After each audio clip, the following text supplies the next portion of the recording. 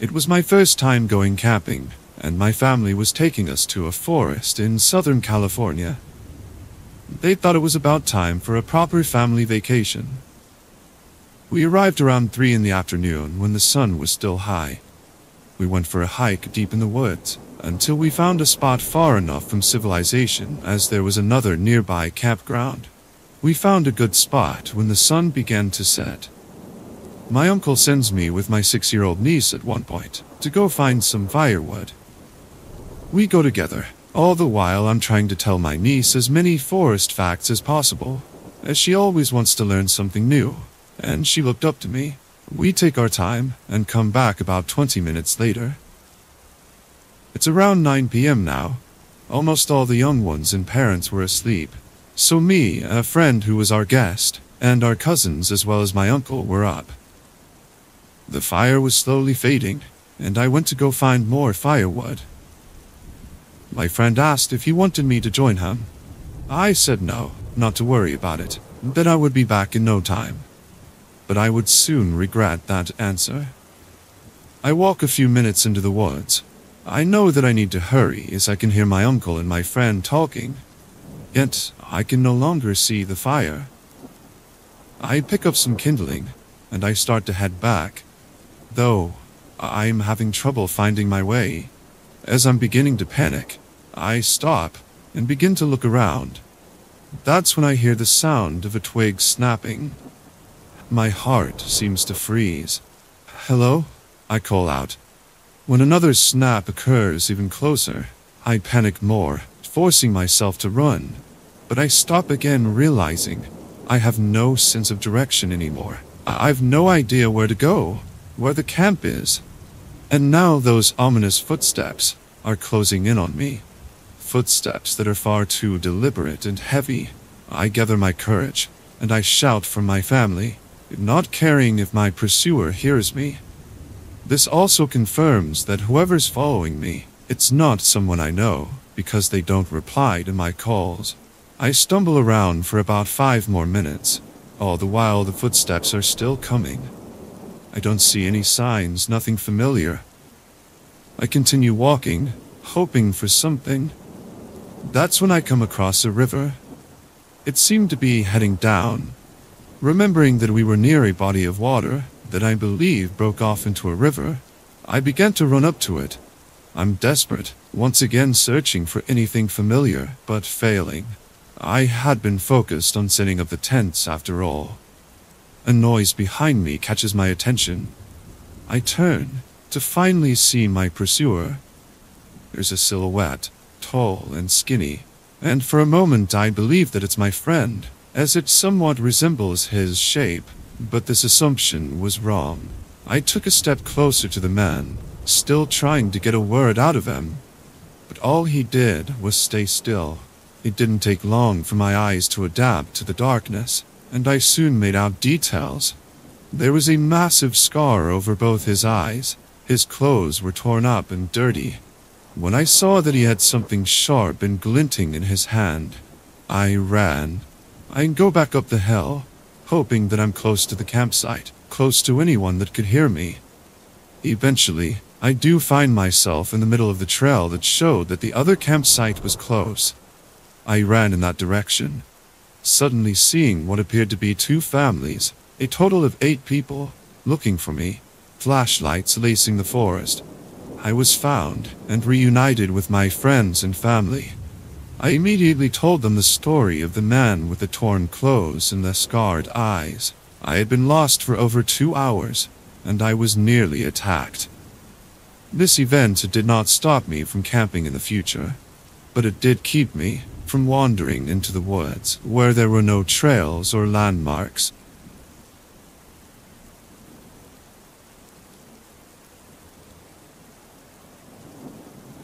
I love camping and hiking.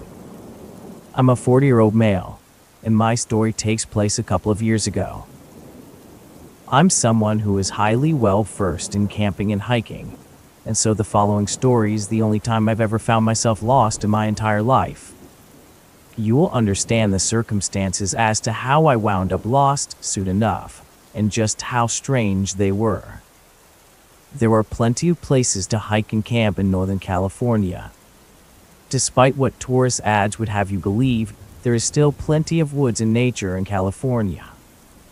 The ads are generally catered to SoCal and not we in the North, but that's another story entirely. Anyway, I had a week off work for vacation, and I wanted to spend those doing my favorite thing hiking and exploring our great woods in this lovely state. I got my things together and left super early to a campground about 100 miles from where I live. I am familiar with the area, and the moment I got there, I got my stuff and began my hike. I started my job on many hiking trails, knowing this particular trail led into the woods. Quite often, I'd then break from the path and I had a nice little area off the beaten path that I was very familiar with. This area tended to have far fewer hikers and campers, and while not necessarily on the main path, there was no rule that said I had to stay on the beaten path. When the opportunity arose, I broke from the path, having purposely waited till no one was around as it's much more exciting to be alone in the woods. And I honestly didn't want my hidden secret to be exposed by random passerbys. I was quite sure my path had been trodden by those better versed within the area. But there's a certain pride to those of us who hike and camp often to take in blazing our own trails and finding our own secrets within the woods and hiking trails. Now, this is where things begin to take a turn for the strange. I have walked this area quite often, and I always make a point to camp out once I get deep enough that I'm sure I'm away from the trails. I plan to spend at least a good three to four days of my vacation out here camping, so I brought plenty of supplies. Once I arrived at the spot I usually camped, I stopped and set up my tent and got some food and water in me. I always prepare in case something goes wrong, and so I had more than enough food and water to survive a couple of weeks at least, to be safe. The night was peaceful, and I fell asleep fast to the sound of nature all around me.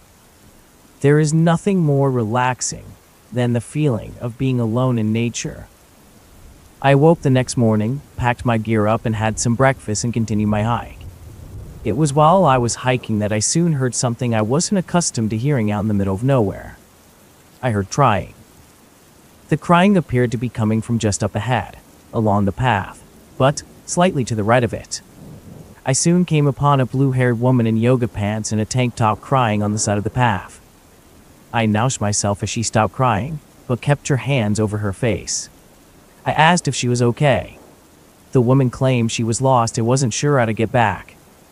I felt for her and reached a hand out to help her, but as I touched her, she jumped back. The woman, she, she felt ice cold. Still covering her face, she began to cry again. In an attempt to calm the woman, I smiled and assured her it was okay. I explained that she needed to only walk straight back the way I came and that she would be found easily. I told her she'd eventually reach the main trails and could get back on those and head back to her Vielcourt home. The woman stopped crying and asked if I was sure.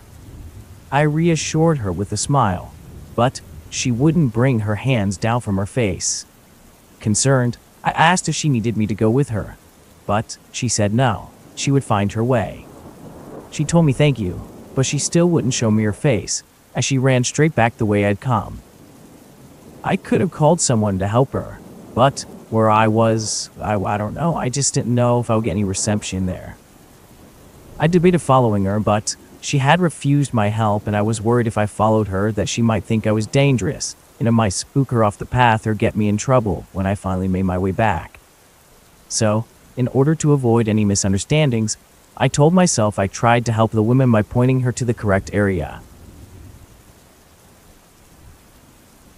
After a few more hours, I had calmed a bit and thought to myself, I'm sure the woman found her way, and before I knew it, I was ready to stop again. I decided to set up camp in an area that looked as though someone had previously camped there. It still had the indentation of a tent, but it was clear whoever had been there had cleaned up and left a while ago. Part of me wondered if it had been the woman that I had come across, or another adventuring soul like myself. I soon set up, ate some dinner, and settled in for the night. I was awoken in the early hours of the morning to the sound of familiar crying. At first, I thought it couldn't be, but, checking my watch, I noticed it was 3 in the morning. I pulled out my flashlight. At first, I followed the sobs. A little way up the trail, I was shocked to see the same blue haired woman, hands covering her face, crying. I announced myself once again and asked the young woman if she had gotten turned around somehow. She stopped crying and told me she wasn't sure. I specifically remember her saying, It never ends. Perplexed, I tried to calm her by asking if I could offer her some food. I explained to her my camp wasn't too far away and I had more than enough food to spare if she wanted some. The woman asked if I would be so kind to point her home. I told her I wasn't sure what she meant by home, but the nearest main trail was many hours away in the opposite direction. I told her she must be hungry, and if she would just come back with me, I could offer her some food. I made sure not to press past this, however, as again, I didn't want any misunderstandings. The woman simply shook her head no, and then she'd find her way before heading back the way of my camp. I followed behind and asked if she wanted me to at least walk her back to my camp. She didn't say anything. She just continued walking with her hands over her face, and her fingers open just enough to see ahead of her. We eventually made it back to my camp and I told her she could sleep in my tent if she wanted to, and I'd stay outside and in the morning I'd help her find her way back. The woman entered my tent, hesitantly, and I laid out looking at the stars till I passed out. In the morning I checked my watch to see that it was 9 on the dot. I got up, stretched, and then proceeded to announce myself before slowly opening my tent. I found no one inside my tent.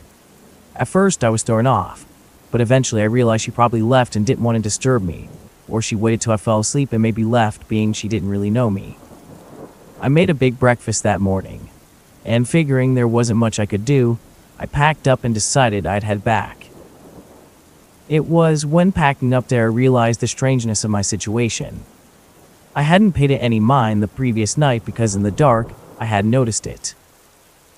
That said, at the first camping spot I usually park it, there is a very distinct tree with a carving of a heart and the initials E and L in it.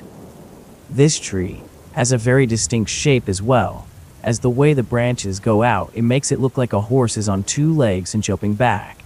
It's the best way I can describe it. It was only now, in broad daylight, that I noticed these things.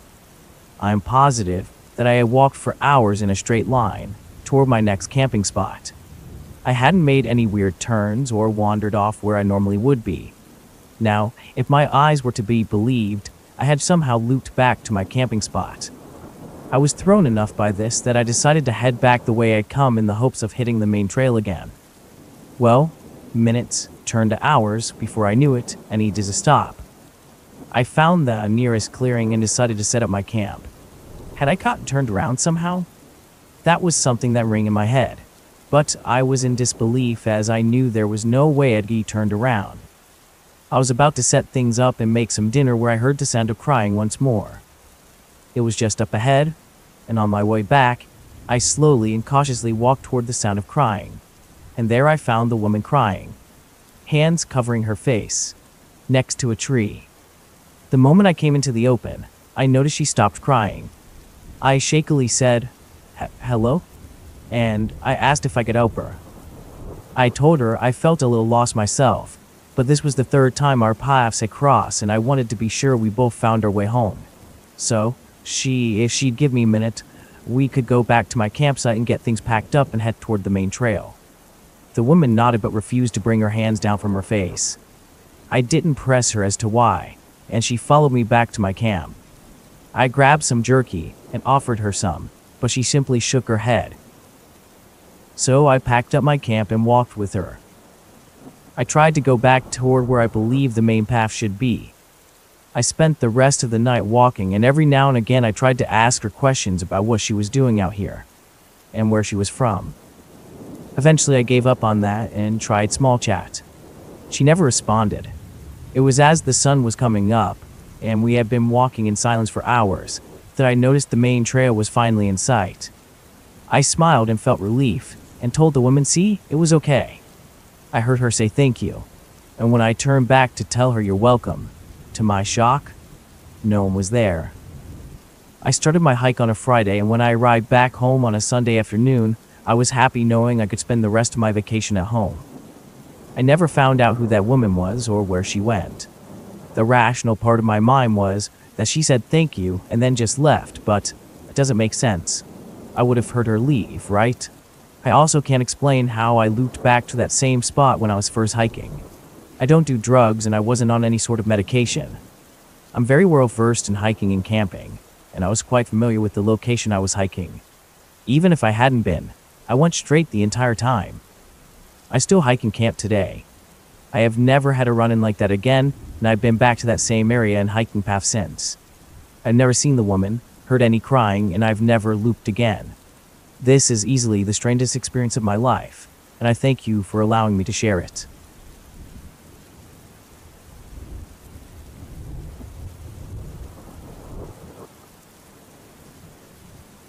I'm in my mid 20s and was 19 at the time of this story.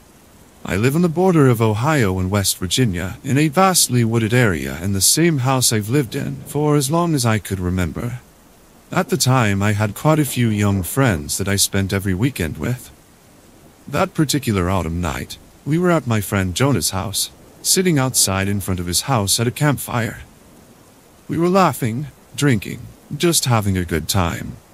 No one wanted the night to end, so when the fire began to go out, Jonas stood up and declared that he was going to get more firewood. So he left the group. The night went on, minutes passed, and Jonah did not return. I began to get nervous.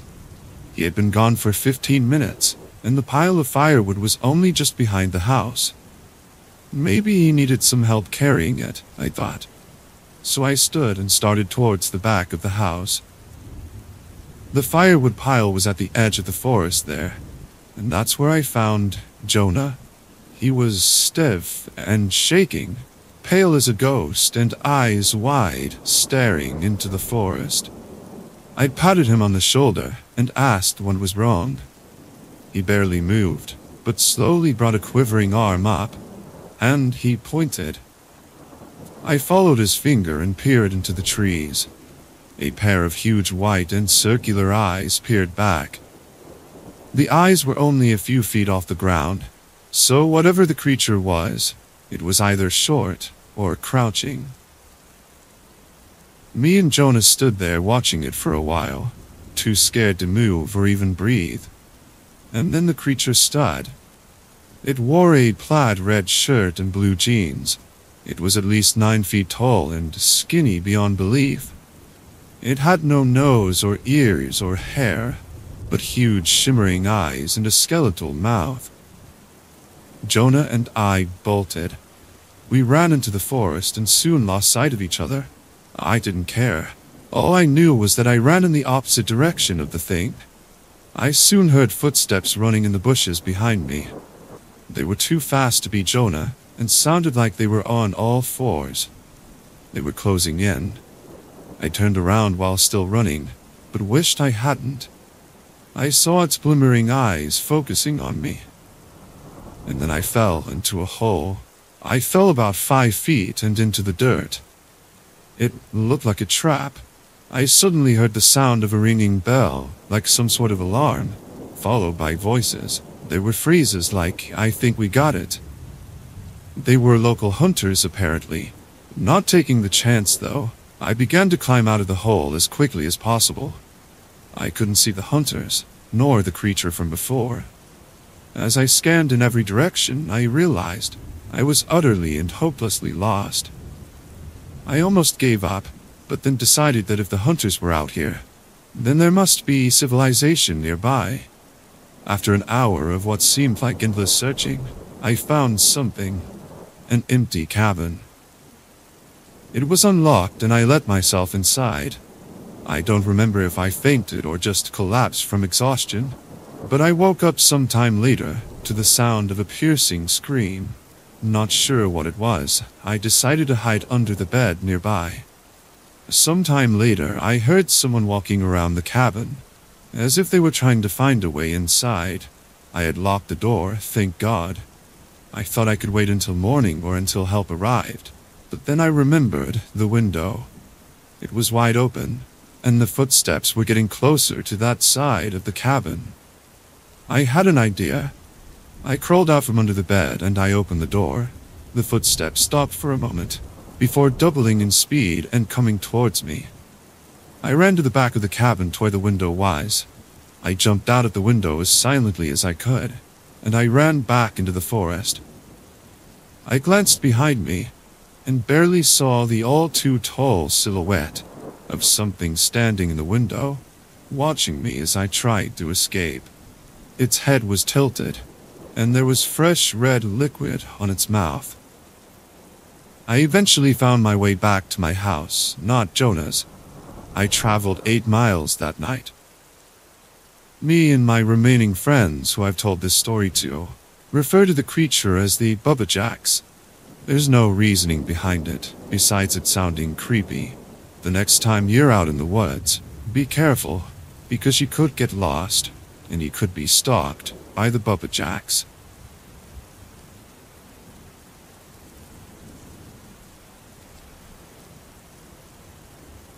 Before I start this story, I should probably give you a little description of the place and myself. The area where this took place was out in a small farming village. There are basically sections of woods and farmland. On this occasion, the section of woods I was in had three defined barriers. To the north was an old railroad track. On the south and west was an open farmer's field. The east basically led to a denser block of trees. He'd eventually come to a road about a mile away if he didn't get lost. As for myself, while I wasn't a hunter, I always had a good sense of direction. Even when I couldn't see the sun or had any other guidelines, I was extremely comfortable with being alone in the woods and not afraid of going to hike in the dark. I found it peaceful, actually. I still do, but I'm more observant now, if that makes any sense. I also don't scare easily, and I don't go into a panic too often. Funnily, I am also somewhat observant to the spiritual world, having seen and felt entities before this. So, to begin my story, the day started like any other day on a winter afternoon. I thought that I would go out to explore some patches of woods that I mentioned before. I always found it intimidating, but being a young kid and having explored everything in the area, this was to be one of the new places I would map out. So, I set out with bare minimum gear. Really just an extra set of gloves and my favorite hiking stick. I knew there were still a few hours of daylight left, and I figured this wouldn't take too long, so I didn't think I would need too much more than that. When I first entered the patch of woods, everything was still and noisy. I could hear squirrels, birds, and the wind in the trees. Seeing as it was my first time, I stuck close to the border walking along the length of the field. Eventually, I came to the southern border and noticed a few interesting rock piles, and I went to investigate. That's where I made my first mistake. Was not going back the way I came. I was in my explorer mode at this point and wanted to see everything, so I decided to go back through the heart of this wood. As I got farther into the heart of the woods, I noticed that several things were starting to become off. All the noises seemingly died down. At the time, I rationalized that as I was the predator, so all the animals quieted down for me. Now, I'm not so sure. The other odd thing was that I had a sense that I was being watched. It felt like from a distance, though. The final thing was that I noticed when I tried to backtrack, Going back was harder than going forward, almost as if I was being let somewhere. I checked my internal compass, as I don't get lost and haven't except for that time, which indicated the direction I was going was north, and strongly north of that. As I was walking along, I could still feel the gaze of this thing, but it seemed closer now. Looking behind me revealed only trees, I continued on, despite the fact that the area I was in didn't look like the area close to the railroad tracks. What I didn't know was that I was heading towards the deep patch of woods where it would be difficult to find someone. Suddenly, I felt the thing move closer still. There was no noise, and I tried to say it was all in my head, or a hunter was messing with me. But what didn't help was the fact that whatever this thing was, I was either so silent I couldn't hear it, or it wasn't something physical. I could feel this thing increase its pace. At this point, the trees up ahead thinned out and I came into a field. It took me a few minutes to realize where I was and quickly made an adjustment to my course. I felt the thing again increase to my speed, narrowing down the gap between it to myself. I lunged deep into the railroad tracks, the northern border, and all the sounds came back. I could hear wildlife again, kids screaming at a nearby pond, and farther off I could hear vehicles. However, I still felt the eyes glaring daggers at me, just out of sight in the denser woods. It felt evil, the nasty energy radiated off whatever it was, but it would not show itself, nor did it step foot into the railroad tracks. All on my way home, I still felt it following on inside of the woods, till I came to civilization, and it seemed to turn and leave. As to say what it was, I cannot say. I have experienced a similar feeling two places since then. Once at a cemetery, and the last at an asylum in Ohio. I hesitate to say it was a physical creature, as I never saw or really heard anything, but I did feel it. Looking back now, I'm wondering if it was possibly something that thought I was up to no good on its turf, and maybe it was purposely trying to scare me off. But why chase me deeper into the woods? I haven't been back to that area since, and I don't plan on going back anytime soon.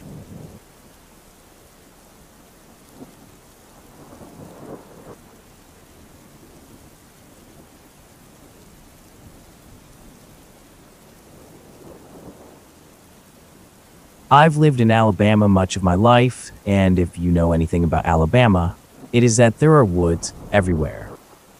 Much of my days and nights of my youth were enjoyed wandering around near aimlessly playing war, tag, hide and seek, and other games.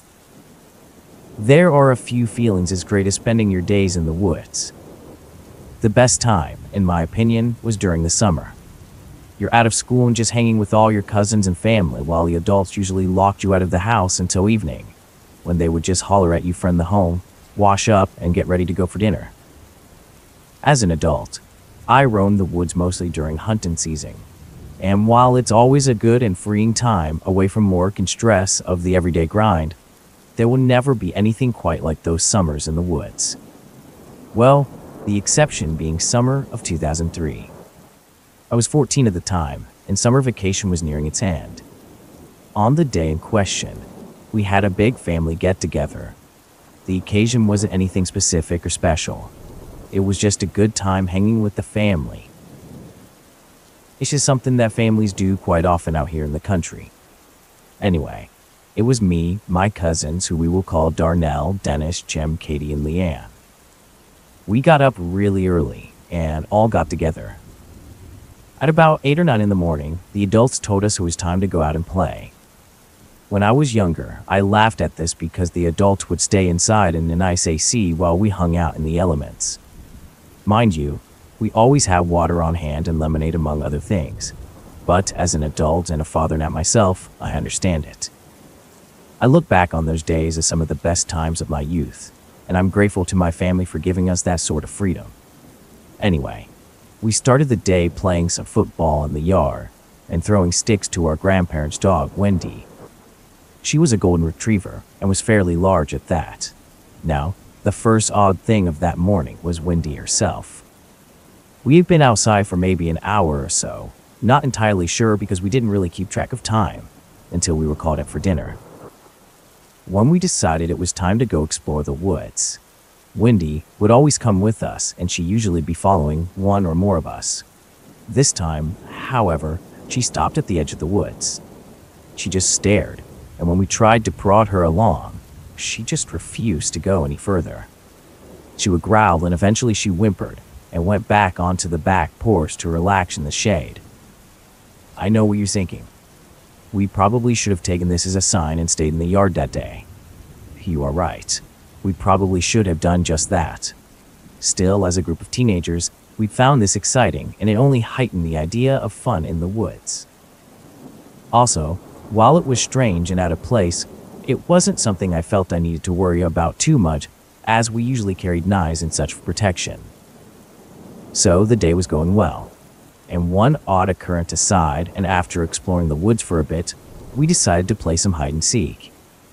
We did this for a few rounds before it was my turn to seek. I closed my eyes and counted to 100. Yeah, we were pretty extreme about our count as we wanted a real amount of time to be able to hide. I finally finished counting when I notice someone appears to be trying to hide in some bushes in the distance.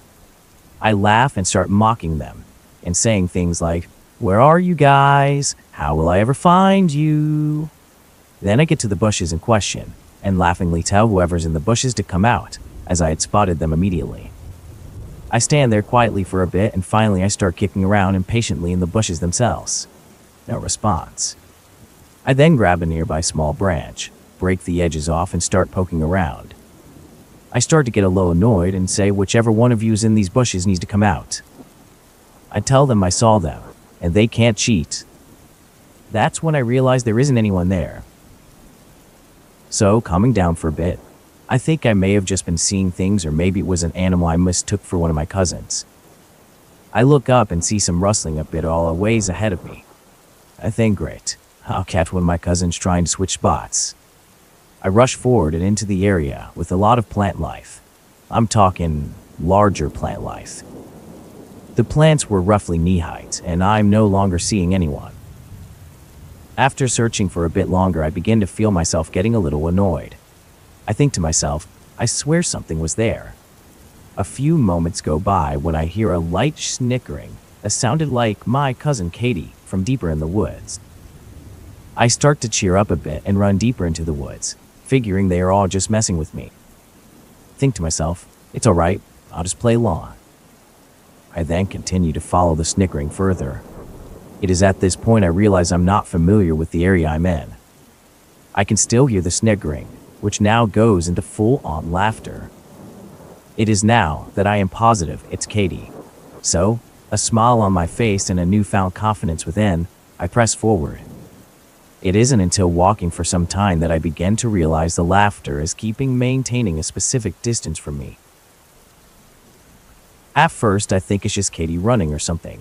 But the thing is, I haven't seen anyone moving forward or any leaves rustling. I've only continuously heard this laugh and followed the sound. I felt this was strange, and I was beginning to grow tired from following what I believed was Katie being in an unfamiliar area of the woods, I finally gave up and said, All right, Katie, I know it's you. You can come out now. You win. I can't find you. I listened closely, and the laughter stopped. I don't hear anything outside of the birds chirping. Huh, that's strange, I think to myself. I decide to continue a bit further in the direction I had originally heard the laughter coming from, but I found no one. The only sign of life was nature. After a few more minutes of searching, I give up. Deciding that Katie probably knew where she was going, even if I didn't, and she probably headed back by now. It is as I am walking around that I heard a loud shriek and I bolt in the direction of the sound, scared my cousin might be in trouble. I reach a clearing and realize no one is there. I'm starting to feel fear creep up on me. I am looking around and and I notice I'm not familiar at all with where I'm at. My family has a property line that they clearly mark and always tell us to never go beyond. And it's at this point I'm beginning to think I may have ignored the usual boundary line in my haste to find Katie. It isn't like it is marked off by a fence as the woods are way too deep. There are usually posts with yellow tape on them, and often the private property signs. Confused, I looked around some more, as I look around, my blood begins to run cold as behind me I hear the most disturbing thing I've ever heard in my entire life. The best way I can describe it, and it won't do justice by the way, is a blood curdling scream. I don't mean like a normal one either. I mean, it sounded like a mix of a woman and something demonic screaming. I'm not saying it was a demon. I'm saying the best way I could describe it was a mix between a grown woman and a demon if they screamed at the same time. This voice, or whatever it was, sounded like someone was being murdered or about to do something horrific and murderous to someone else. I freaked out and bolted forward. As I did this, I could hear the scream again. It was louder this time and it followed me.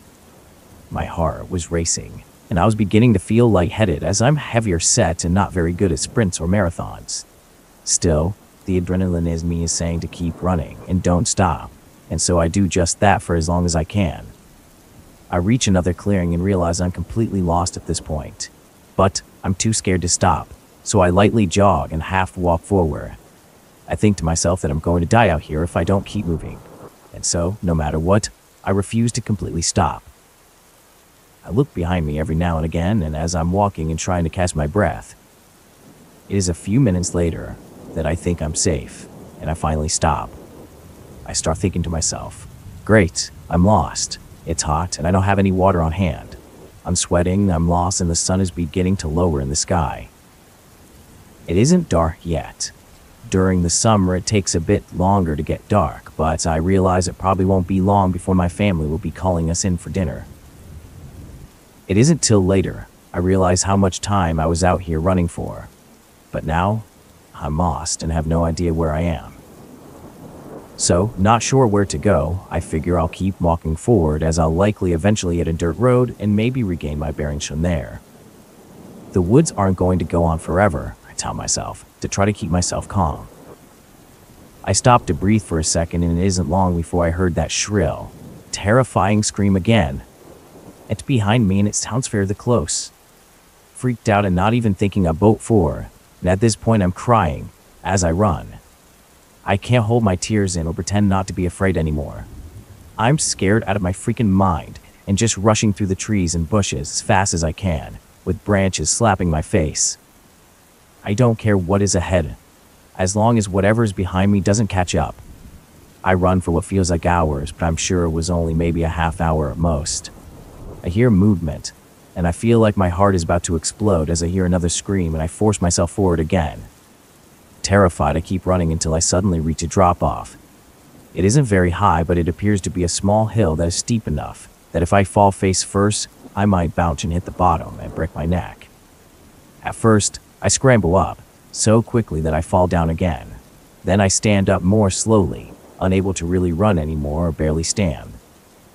It is now I realize the small hill I fell down from dropped me into a ditch, but the world before me is no longer wooded.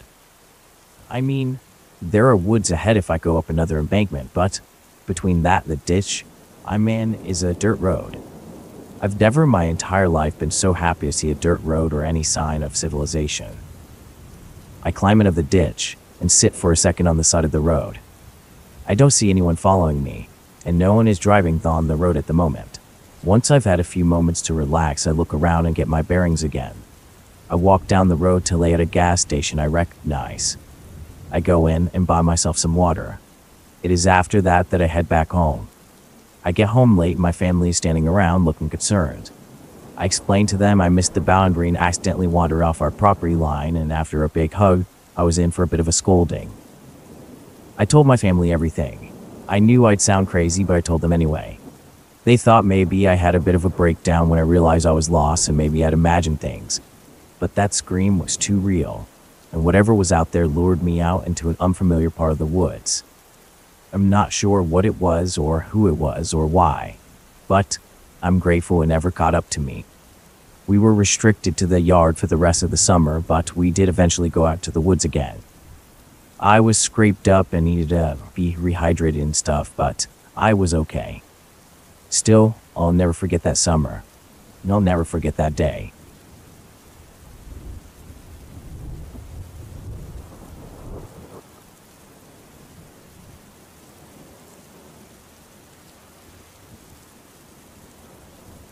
My story isn't a long one, but it occurred when I was 21.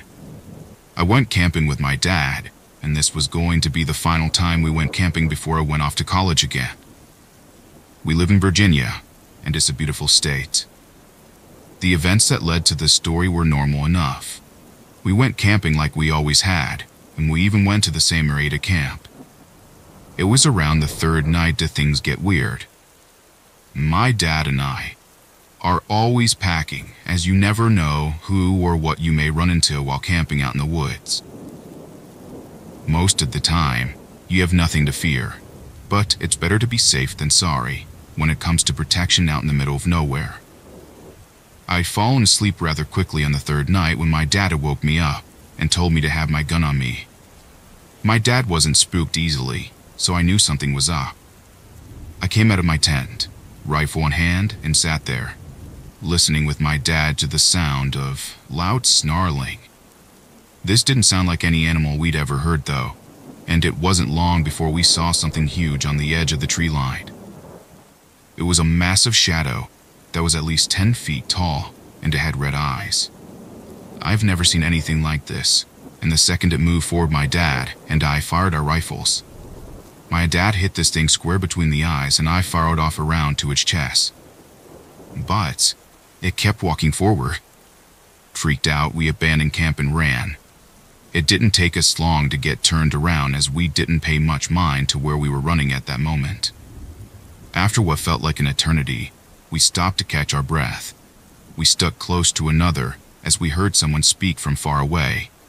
This thing had my dad's voice. The very plain problem with that is my dad is right next to me, and this voice was coming from further away. It wasn't more than another minute when we saw the figure again. We fired off a few more rounds, and I'm sure we hit it several times. It didn't stop moving, and so we continued running. We only stopped long enough to catch our breath, and even then we made a point to keep walking and moving. We continued doing this until morning came. At that point, we were completely lost and figured we'd take some time to rest after all that. We tried to find our way again. It wasn't long before we crashed. We awoke in the evening to the sound of large trees shifting. Freaked out, we jumped up and continued. We kept running through the woods, like madmen. There are few things as scary as being lost in the woods, but being pursued by something you've shot several times is something I'd say is scarier. By the time night fell, we made the decision that we shouldn't sleep unless we absolutely need to. If that were the case, we would take sleeps and shifts. That never happened though, as this thing was soon upon us again. Strangely this time, it spoke in my mother's voice. The problem being, my mom had passed away three years prior in a car accident. I remembered being sad and angry as we continued running. All through the night, no matter how fast we ran or how far we went, the moment we stopped, this thing was there. It was by the next morning that we were able to rest once again. It was around now we realized this thing didn't seem to appear during the day. We took a couple of hours to get some rest and decided we would do all we could to get out of these woods before dark.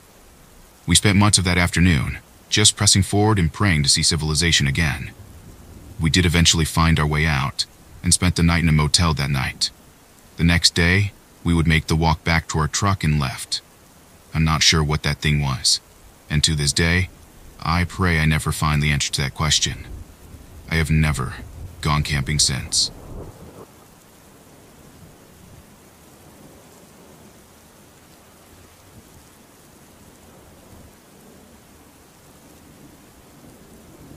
About three years ago, I struggled severely with depression and suicidal thoughts.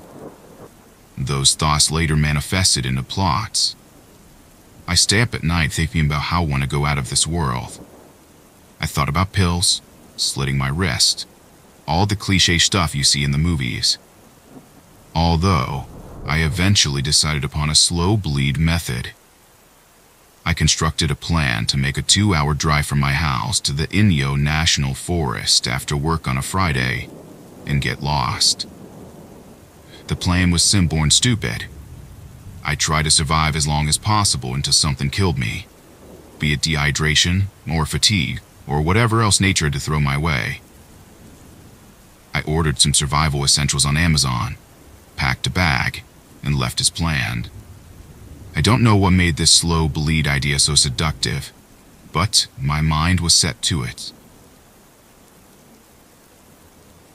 I had no idea where I was going, but that drive felt like I was 10 again and on my way to Disneyland with my parents for the first time. I felt so overjoyed and relieved. I got there, parked my car behind some bushes, and started walking. It was about 5 o'clock and the sun was falling quickly. Bad planning on my part, so I started running, deeper and deeper into the forest. I would run, then tire, so I'd walk a while, then run again, and I repeated this process for about three hours. I stopped at a clearing in the trees. It was around a little patch of mostly dead grass and leaves. I pitched my tent, unrolled my sleeping bag, and fell asleep, happy as can be. The next morning was far less tranquil, however. I woke up feeling like I had a terrible hangover, and I had no idea where I was or how I'd gotten there for at least five minutes. I began breathing rapidly and started jogging in random directions, trying to retrace my steps. I ended up getting even more lost and separating myself from my gear and tent. I tried telling myself that this is what I wanted, but for some reason, I knew it wasn't anymore. I remember repeating no choice over and over again. That was a really cold night. I tried doing push ups to keep me warm, but that hardly lasted. I tried singing Vienna by Billy Joel, but it was too cold and my teeth kept chattering. Although the cold was nothing compared to the fear. Every falling leaf or trickling sound of the stream was a vicious predator in my mind. There was a point where I couldn't tell whether I was shaking from fear or the cold or a mixture of both. Finally, the morning came and I slept through most of the day on the ground, my back to a fallen tree stump. I woke at around 3 p.m. and once again I panicked. I began jogging in a seemingly random direction once again until I hit the road I came on. That feeling of relief was something I would never be able to explain. A humble bee, yet lit to be up. I walked up the road into a very nice old man and a big black truck pulled over to see if I needed help. I told him I was hiking and get lost. He drove me up the road to my car and I drove home. That weekend changed everything for me. I have never had a suicidal thought again, and I got the help I needed to deal with my depression. This isn't very much of a survival story, but the whole experience changed my point of view on life and self-worth. I'm still working on constructing a suitable life for myself, but whenever I'm discouraged or I want to quit, I think back to that night in the forest, and after a quick shudder I realize just how much life means to me. It was a stupid plan, but I'm glad it was. I may not have survived a slightly more elaborate one.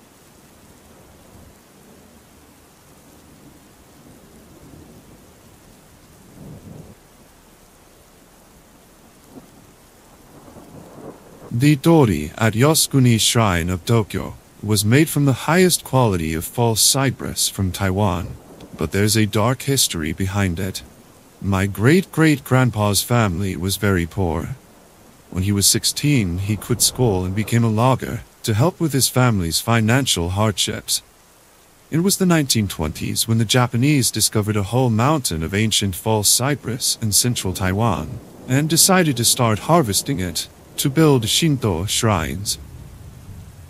The indigenous tribe was very mad about the proposal. They warned that these trees were thousands of years old they were so old to a point that they had developed consciousness, as if they were conscious beings. There were also spirits guarding these ancient trees. Terrible revenge would ensue if these trees were harmed. That's what the Taiwanese said, what they believed. The Japanese officials ignored their protests and called them superstitious. They relocated the entire tribe so they wouldn't intervene in the operation. The operation began two days after my great great grandpa's 17th birthday. My great great granddad and his colleagues spent the entire day cutting only one third of a tree in the first day, largely due to how big and tall these trees were. The first day of the operation was a success. Everyone was drinking happily with one another, and they were making fun of this warning from the indigenous peoples. The loggers camped right beside the logging yard, which is surrounded by these ancient false cypress, My great great granddad had a weird dream at the first night camping there. A dream that he was lost in these woods, panicking, trying to find his way out. He woke up in a cold sweat to his colleagues' loud snoring. He shrugged it off, but he kept having the same dream every night. Dreams of being lost, with no way out. He was lacking sleep and became so tired in the morning he was not able to do work, so his boss transferred him to an office in Camp Yama at the lower part of the mountain. He would be doing some light labor, like cooking and delivering documents. Days passed with more and more trees being chopped down. Many loggers started developing inexplicable sicknesses, to which the doctors could not explain upon examination. Some of them had long lasting fever, and some of them couldn't stop coughing. Some loggers even began quitting the job. They reported having nightmares where they were lost in the woods, their names being called by demonic voices at night. One day after lunch break, a logger, covered in red, screamed and ran into the office at Camp Yama. Help! he yelled out and collapsed right by the entrance, red gushing from a cut in his chest. It seemed to be from some sort of vicious animal attack. My granddad and some police officers immediately picked up their rifles and rushed to the logging site as fast as possible. What my granddad saw traumatized him for the rest of his life. There were more people, screaming, red all over the ground. It seemed like they had attacked each other. But for what? My granddad thought. They were hysterical, those that were still alive. It was like they were possessed some of them calling around and making weird noises like they were animals. A younger logger, possibly around the age of 16, was found trembling in fear in his tent. Upon being questioned, he said that five of the loggers had returned from the woods with eyes that seemed full of hate. They didn't act right, they seemed irrationally angry. He said they went insane and began to attack the other loggers, using their hands and axes. He ran hiding into his tent, only occasionally peeking out to the outside. He claimed that it was at that moment when he saw the mist come from the woods and start surrounding the logging site, as if something was unleashing some unknown evil power through it. The entire operation was completely shut down after the incident. My great great granddad returned to his hometown and became a barber instead, and the indigenous tribe leader learned about the incident and was not surprised. The Japanese later had to request a shaman over to bless the entire logging site, and the paranormal activities were all gone after that. The surviving trees are still there in Nantou County. They are now well protected by the National Forest Administration. I think if every tree has consciousness like these, it would definitely make mankind cherish our planet a bit more.